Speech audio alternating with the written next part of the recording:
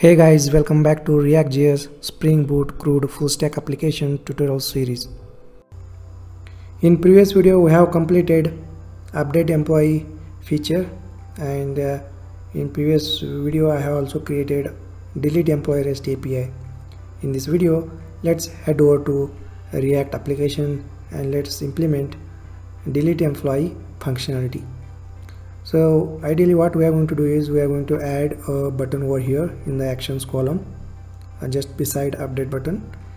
And once we click on delete button the corresponding employee should get deleted. And internally it makes a REST API call to delete the employee from the database.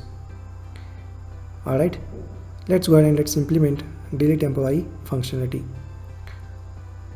First we will add a button here okay. Let's go to the vsid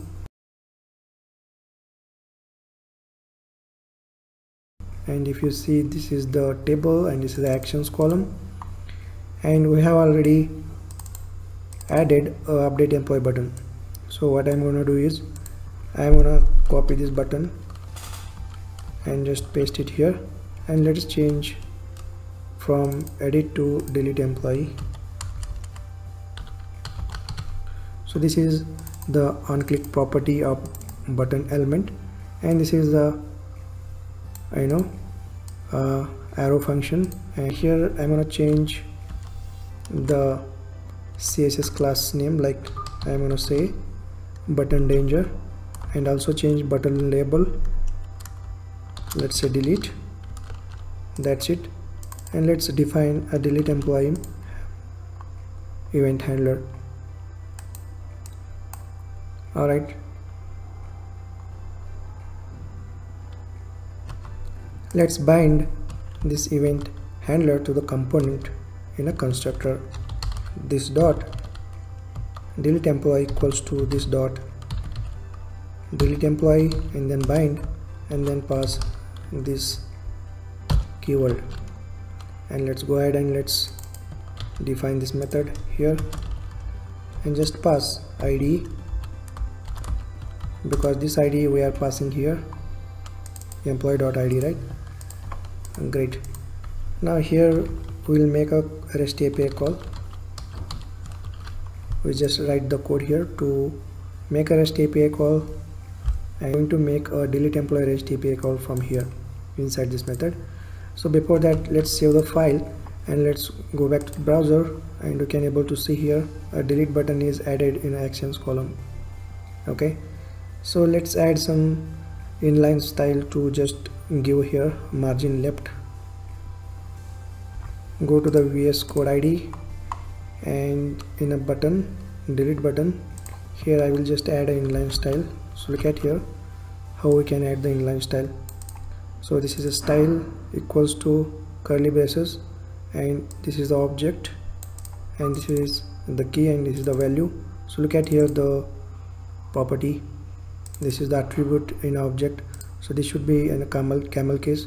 So we define you know attributes in a react like this okay in a camel case. All right let's save the file and let's go back to the browser. Here you can able to see there a little bit margin between these two buttons.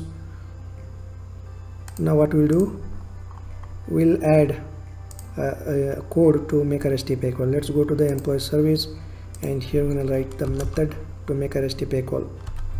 Let's say delete employee and then pass employee ID this is the, delete HTTP request. So let's call axios dot delete method and then pass base URL after that let's concatenate this with slash and then employee id that's it.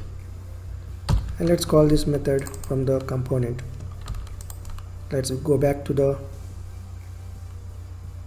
list component list employee component and here we need to call this method. Employee service dot delete employee and then pass id and then you can call then method response and arrow syntax. After that once we delete the employee what we need to do is we need to remove this particular deleted employee from the employees list. So what I will do I will just remove uh, or I just filter this deleted employee from the employees array.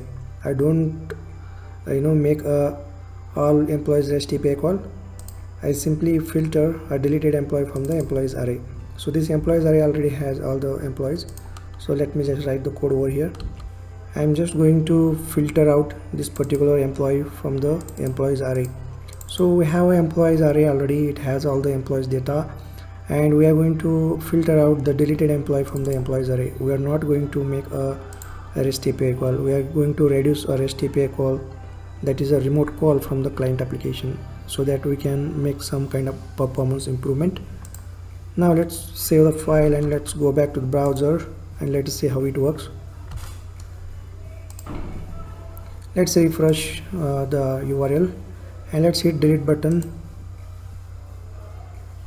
Yeah so look at here the user is successfully deleted the employee is successfully deleted and i'm going to delete one more employee that is amir yeah the amir employee is deleted. Again let me delete one more employee that is demo. Here we go. So demo employee is also deleted. Let me delete one more employee that is thom123 yeah the employee got successfully deleted. Alright guys we have successfully implemented delete employee functionality in our employee management application. Thank you guys for watching. I will see you guys in the next one